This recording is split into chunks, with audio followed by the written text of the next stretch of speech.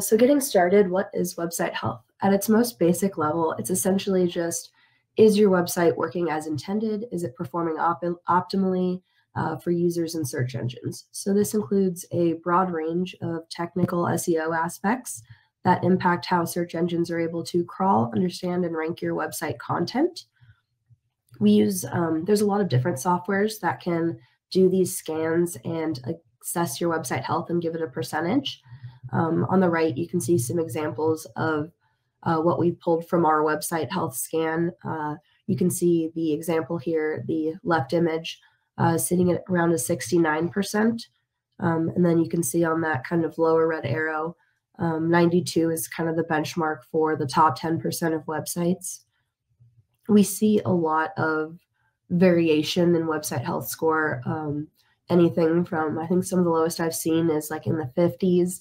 Um, the highest I've seen is 99. So there's a huge variation. And obviously, it depends a lot on, um, you know, what content management system you're using, how often you're updating your website, um, how familiar you are with technical SEO, um, how many people are working on your website, a wide variety of factors.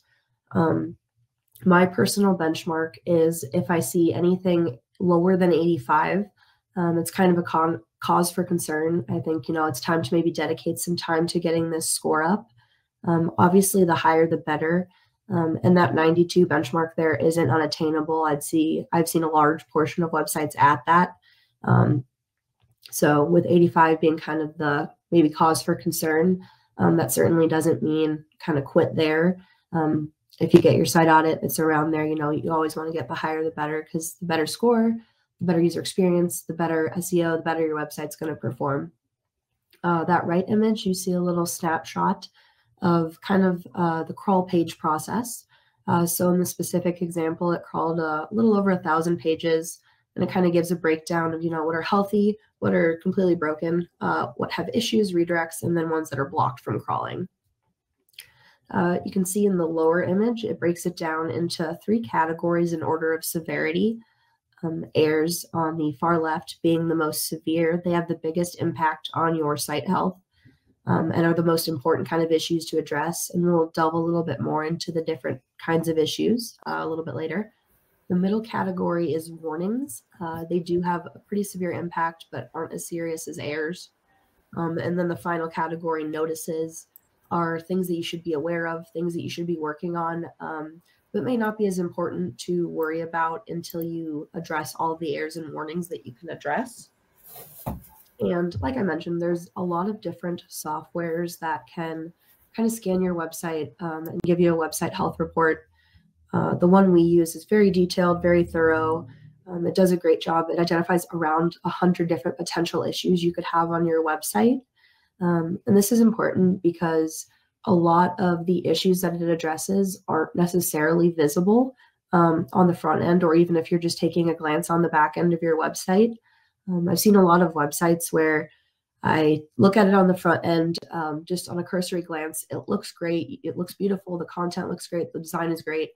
Um, and you would think it'd be a super high health score. And then when you scan it, it's a lot lower uh, due to a lot of kind of hidden issues. And then I've seen the exact opposite, where some websites uh, look a little dated. They don't look um, as well put together, and their score is higher than the nice websites. Uh, so it really just depends um, on such a wide variety of factors. And that's why these audits are extremely important because it gives a lot of insight into issues that you otherwise probably wouldn't even know are there. I touched on this a little bit already, but website health is extremely important um, for a wide variety of reasons, but most broadly for user experience and SEO. Um, like I mentioned, a lot of the issues that it identifies kind of have uh, tie into how Google and other search engines are able to crawl, understand, and rank your website. Um, so if you're even if you're doing a lot of great keyword research, you're putting out a lot of fresh content, uh, things of that nature. If you have these kind of underlying technical SEO issues, um, that keyword research and that fresh content might not be enough. And as it relates to user experience, um, say you're doing good on the SEO aspect, um, your other digital marketing efforts are good. But when people get to your website, um, you have some issues that you might not really be it from you know you don't have the outside perspective or uh, you might not be issues in your mind uh, the user kind of it hinders their experience on your website and they might get on your website uh, be it from social media from paid ads from organic uh, and then immediately leave hurting your bounce rate hurting your possibility for conversions website health is especially important thing to discuss because you know when you think digital marketing services you think social media you think paid advertising uh, maybe some video marketing, email marketing, um, kind of those common go to digital marketing services, which are extremely important. Uh, but website health is something that doesn't always really pop into mind for most people. Um, and digital marketing services, the success of them are extremely interrelated. Uh, so, like I kind of alluded to, if you you have a really great paid ad strategy, you have really strong uh, and varied social media, um, you're doing some keyword research, all of that is great. Uh, but if your website health score is really low, all of those efforts, uh, their success is really hindered. Um, and you kind of need to maybe re realign your priorities or dedicate some more time to your website health so that the success of your other campaigns can really shine through. Uh, there's a lot of, like I said, about a hundred different kind of issues that our specific software scans for. Um, if I went through all of those, we'd be here probably a day or two. So I grouped uh, them into just five kind of broad categories of issues that we see a lot across pretty much all different platforms, um, different industries, uh, different age of websites. Uh, these issues are issues we see a lot, and they're also issues um, that, to an extent, you can resolve on your own if you don't have like coding or web development experience. Uh, so we'll dive into some subcategory issues within these broad categories uh, so you guys kind of know what to look for on your website and see um, if any of these issues you possibly have or become aware of any issues that maybe you didn't know were a potential problem. So kind of as the name indicates, uh, duplicate content is just any content, be it uh, the text content on a page, uh, your meta descriptions, your title tags, um, any kind of text content that is 85% identical or more uh, across two or more pages. Uh, and this is an issue because uh, Google kind of sees it as you being trying to like trick the system or maybe being a little um, trying to work your way around it. Uh, in the past, you know, people get knocked for keyword stuffing where you'll read a page and it's super obvious that they just keep saying like if it's a service page and say um, you're a chiropractor. And then every other sentence is chiropractor, chiropractor, chiropractor. Uh, Google started knocking you for keyword stuffing.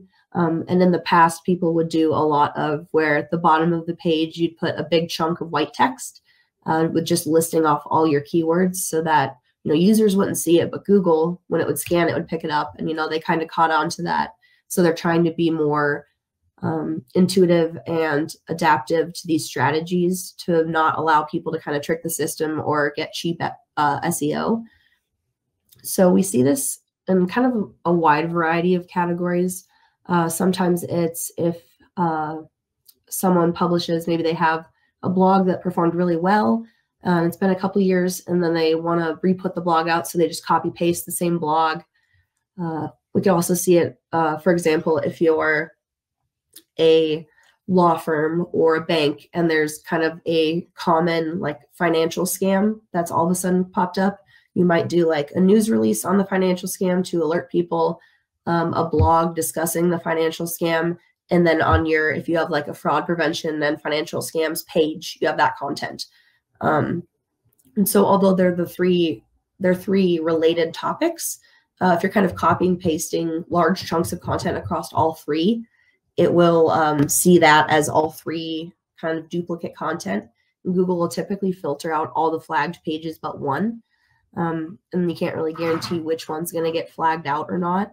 So if you're, like I mentioned, a bank and you write those three pages, say they filter out your service page and your blog, and then someone just finds the news release, uh, you probably would prefer them to find your fraud prevention services page so that they can contact you for that service. They know you offer that service, but then that page is getting hidden because you have that duplicate content.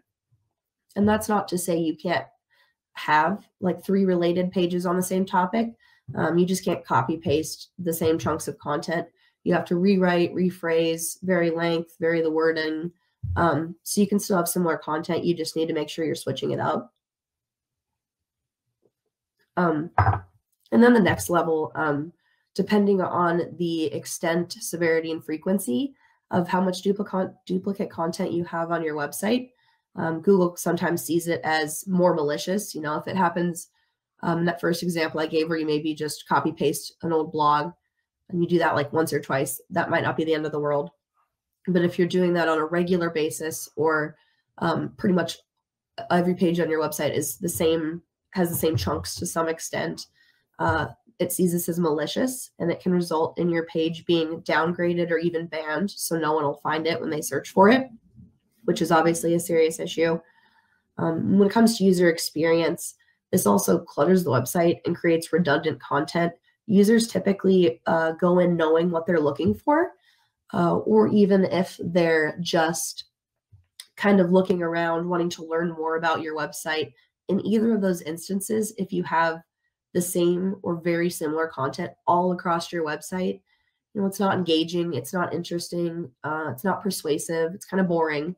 And so they're more likely than not going to jump off your page, hurt your bounce rate, and you're not going to get that conversion, be it a call, a contact, a purchase, things of that nature. So it just creates a lot of issues that are pretty easily avoided with just some rephrasing, rewording, uh, restructuring. Meta descriptions are another area where we see a variety of issues. Um, if you're not familiar, you can see in that little snippet on the bottom, that's a meta description. It is just that little snippet that shows up in search results under your URL, your name, your title, and then your little snippet is your meta description. Uh, we see a lot of different issues with this, one being duplicate meta descriptions across a website. So, be it for simplicity's sake, uh, time's sake, effort's sake, sometimes people will just use the same or a slightly switched up meta description on every page of their website. So say you're a plumbing company and you make your meta description, we are Iowa's premier plumbing company. Call us today at number, number, number for premier plumbing services. That would be a great meta description for a contact page, but for an FAQ page or your drain service page, you know, that's not really reflective of what the page is. Um, it's not hitting any keywords related to the page. So it's not really giving Google the most relevant results as well as from a user experience. Uh, they're not really, it's not as enticing, you know. So if maybe they're Googling, uh, when is it time to call a plumber? Or when should I get my sewer inspected? And then they just see that little snippet. Your snippet pops up for your FAQ page, your service page, and they just see call us today. Mm, they might not click that. Whereas if it says, if you're seeing these signs, you should call a plumber. Click to learn what the signs are. Well, then they're going to be more enticed. They're going to click. Uh, so for both SEO and for user experience, you want those meta descriptions to be different. Uh, for some of the same reasons as the duplicate meta descriptions, you also see we see a lot of blank meta descriptions. Uh, it is depending on how many pages of your website, it can be time consuming to sit down and write a good meta description. Uh, it can be just sometimes overlooked or forgotten. And these blank meta descriptions are Google will sometimes just pull what it thinks is maybe a relevant meta description from your page if you don't have one. And this can be fine in some instances, but a lot of times um, it's not necessarily reflective of what you'd like. They pull what their crawlers think are the best, uh, but it's probably not really the content you would really want as to be reflected. Be that be it uh, not as reflective of the page, not as engaging. There's no calls to action, things of that nature, uh, as well as just not being as most engaging for the user. So you don't want to really leave those blank. Uh, too long and too short meta descriptions are things we see a lot. You want to aim for around 160 characters, uh, as close as you can get to that without going over. If they're too long, Google will just kind of cut off at that 160 point, even if it's in the middle of a sentence or even a word uh, which looks unprofessional, as well as I've seen sometimes where, uh, depending on what the word is, if it cuts it off at kind of an awkward point, uh, it can be some like kind of comical or unprofessional results. So you want to make sure you're avoiding that. If it's too short, again, it looks unprofessional. You're not really giving enough information. Uh, so just we usually kind of stick to the method of, you know, explaining a little bit about what the page is about, um, and then some kind of call to action, like, you know, learn more today, call today, uh, email us, things of that nature. Poorly written meta descriptions. This is more for a user experience. And I've kind of touched on uh, some of the topics. Obviously, duplicate, blank, too long, too short are all kind of tie into poorly written. I've also seen a lot of people kind of do that keyword stuffing thing I mentioned, where they'll just put their meta description as like a list of keywords related to the page, which again is not super interesting for a user to look at and looks kind of tacky. Uh, additionally, a lot more than you'd think, you see spelling errors, grammar errors, random capitalization, or a lot of times people will just copy the whole first paragraph of a page as their meta description, uh, which is just not the way to do it. So there are a lot of things to take into consideration. You know, you just want it to be convey the message of the page and be around that 160 character mark. Text content is extremely important. I'm a little biased as a copywriter, but this is an issue I like to really hammer into the heads of every client of, you know, this is something that needs constant attention. This is something that needs to be done well. This is something that needs to be addressed. We touched a little bit already on duplicate content, just making sure that your content is varied. Uh, it's different from page to page, even if the pages are similar. Low word count is another important one. Uh, the standard SEO best practice is at least 200 words on a page. Obviously, that can be a bit tricky for some pages, say like a contact page, or if it's just a staff page where it's like name, job, started in, uh, interest that can sometimes be hard to get to 200 words. And, you know, if it's just those couple pages, it's not really the end of the world. But if you're having any blog, news, release, press release, uh, any service page, if you're e-commerce, any like product category page, you really need to be that 200 words is a real minimum there for making sure you're getting that SEO best practice. It also gives you the opportunity to work in a lot of keywords, a lot of information to write persuasive and informational content for your users. Uh, there's just a lot of things that make that extremely important. And it kind of ties into that next issue of low text to HTML ratio, which is essentially just the uh, percentage of text on your page versus the percentage of code on your page. Uh, so if you have a lot more code, be it videos, images, stylization, uh, maybe like interactive design elements, uh, that page is a lot heavier on that content than text content which causes a variety of issues. Obviously, um, Google kind of likes you to have a lot of text content to back up your visual content. Uh, and additionally, it can kind of slow down a page to have a lot of heavy coding on it. Um, page load speed is a huge issue in Google's eyes as well as the user eyes, user's eyes. I read the other day it takes it's like an average of like three to six seconds. If a page takes longer than that to load, a user's just going to leave. So if you have a, low, a lot of low text to HTML ratio issues, uh, it's probably hurting your load speed, which is hurting your user experience and your uh, SEO. Heading hierarchy is another extremely important topic that's uh, often overlooked, either in importance or just in understanding. So, you know, your H1 is your title, the primary descriptor of your page.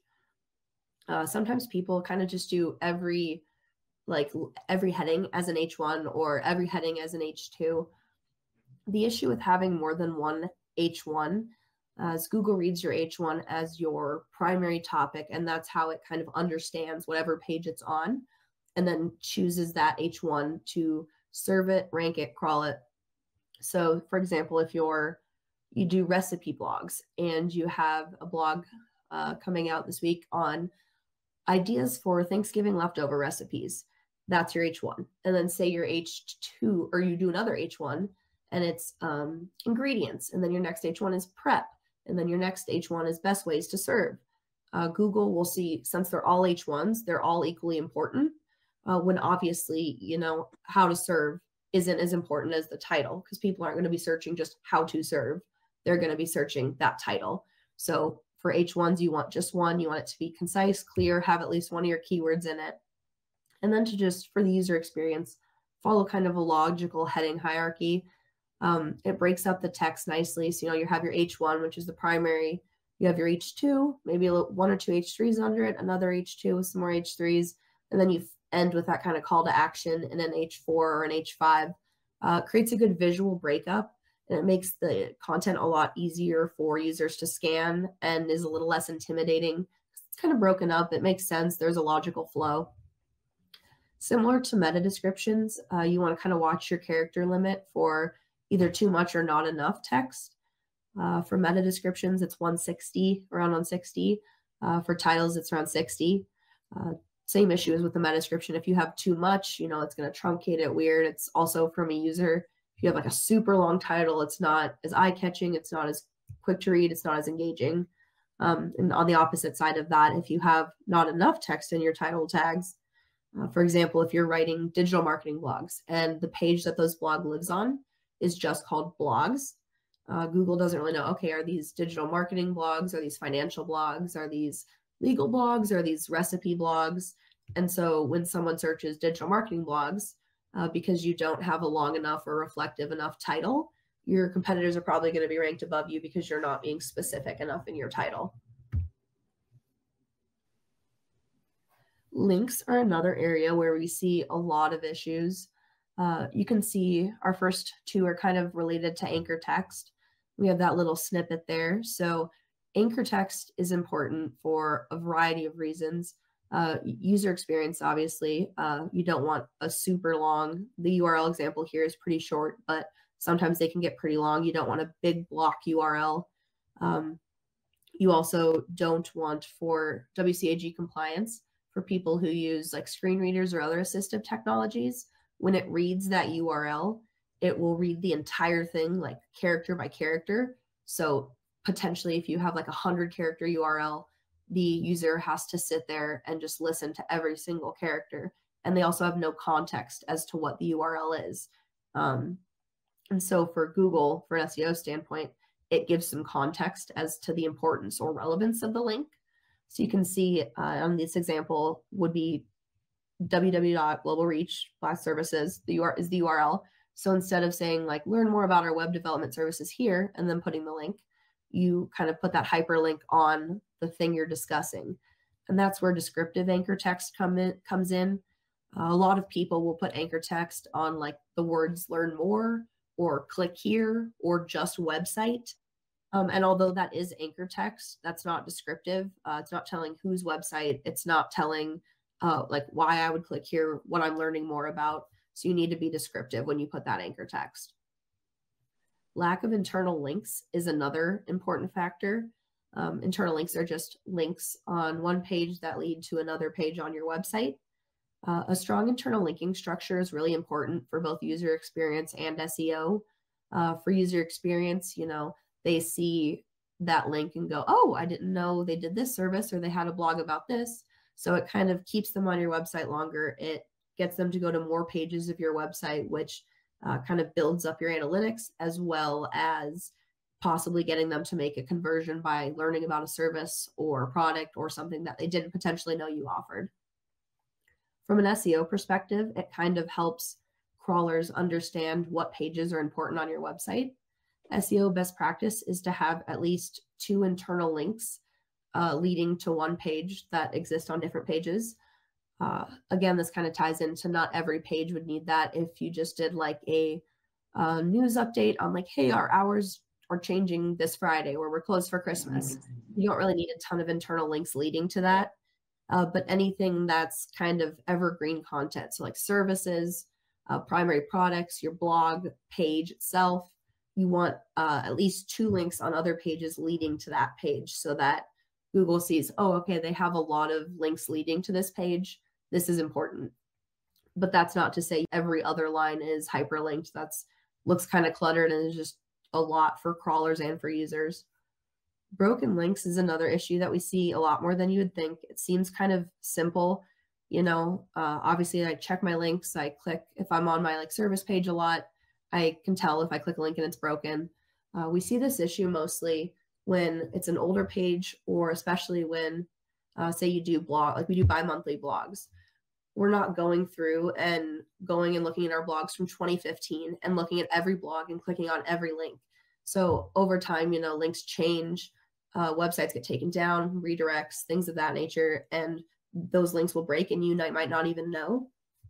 We also sometimes see, you know, ransomware or viruses or kind of hacks where uh, they will change links on older pages or blogs and it will the anchor text will still look the same so it'll be like um, click here, or like learn more about this service.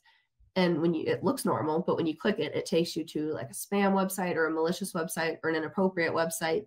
And obviously when google sees that it thinks you're kind of trying to push people to malicious websites and so you'll get knocked for that. And if you are not aware of these issues it can become a potential problem. And if you have the time to scroll through every link on your website every month that's more power to you but that is a lot of links for a lot of people to crawl through another issue we see is link formats uh, there's a lot that fall under this, but um, just three kind of basic ones. No follow attributes. So telling Google not to follow that link that you have somewhere on your website.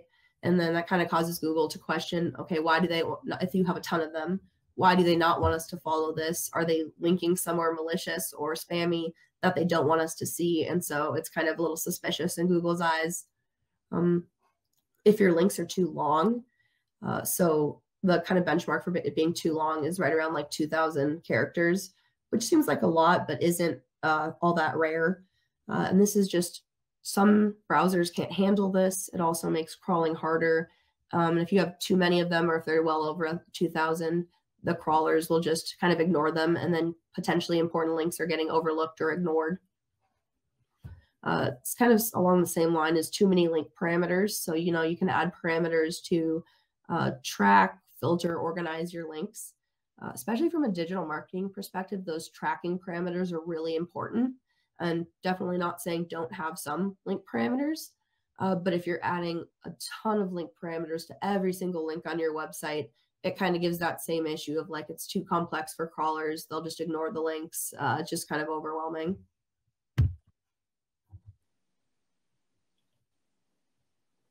Our last kind of category we'll touch on is images. Uh, that first bullet there, alt text, kind of ties back to the WCAG compliance we discussed with anchor text. Alt text, as you can see in that little middle example, is just kind of a kind of like a caption uh, that describes what an image is.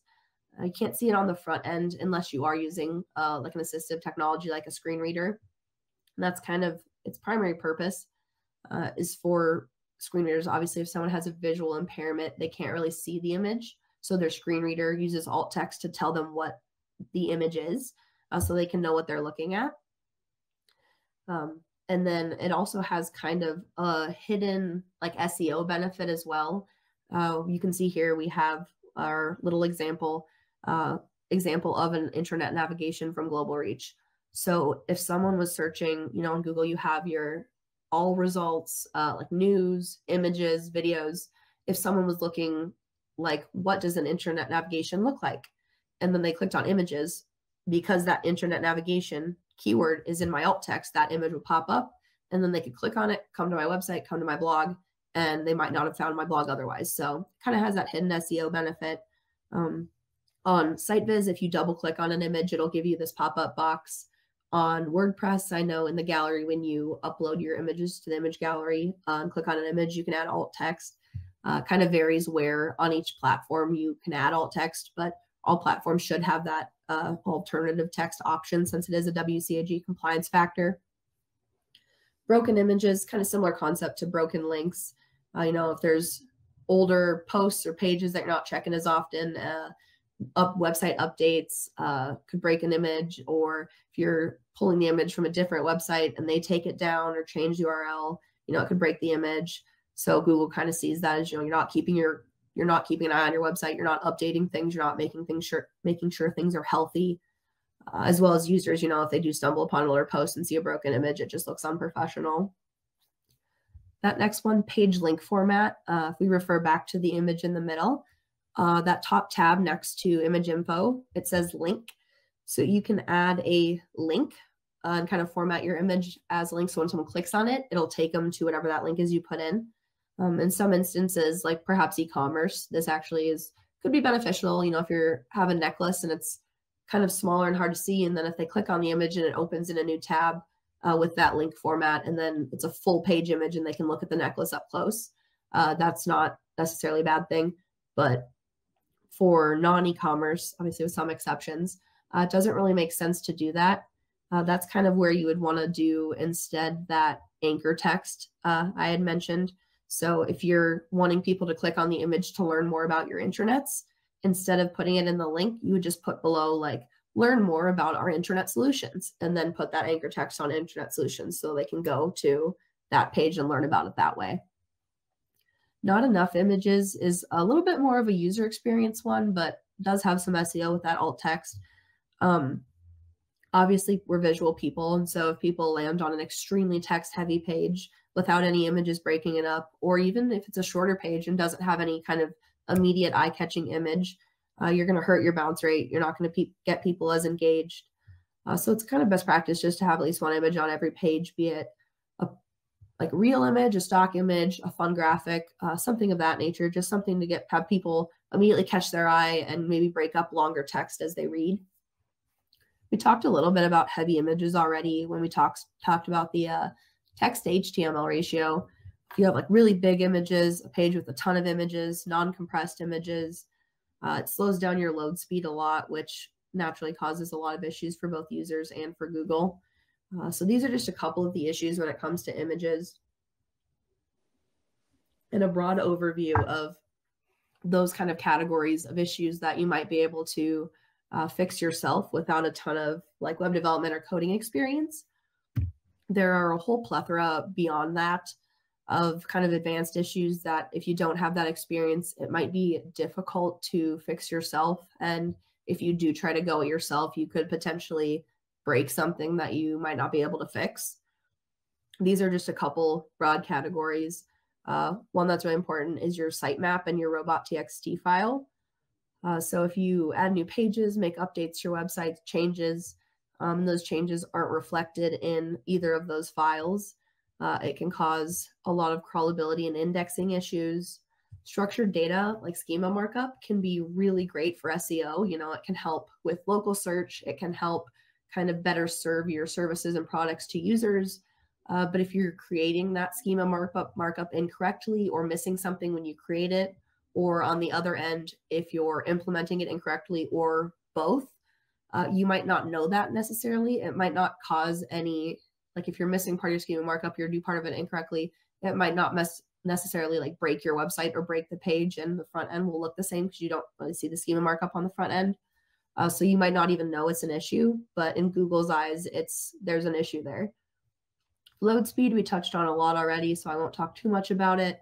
Uh, but when it comes to load speed, there's a lot of factors that once it comes to you know if you've already uh, optimized some of your images, you've kind of reduced heavy stuff, but it's still loading really slow. It might be time to involve a web developer uh, or web designer to kind of help you solve those issues. And then crawlability encompasses obviously a huge range of issues. Um, some of the one easier ones we've touched on in terms of crawlability when it comes to like links, uh, uh anchor text, things of that nature, uh, intuitive navigation but there are kind of more in-depth ones like meta tags, uh, compressing or minifying JavaScript, JavaScript and CSS. Uh, if you have blocked pages, if you have pages that are unable to be crawled for a specific reason, um, that might be something that you're not able to really identify or resolve on your own. But it's obviously a serious issue because if search engines can't crawl your website, they can't rank it and they can't serve it to people. Um, so these are just kind of some broad issues. And that kind of ties into our last little segment. Um, if you guys want, I'm going to drop in the chat a URL for you guys to just put in your email and your homepage uh, URL, and we can, after this, run a site audit for you. Uh, we'll email it to you, and then you can see what percentage you're sitting at. Uh, if you know there's cause for concern, if there's something maybe you should be addressing, or if you're sitting happy and healthy, uh, you'll have some context now into the importance of it, so you can kind of understand a little bit more what that percentage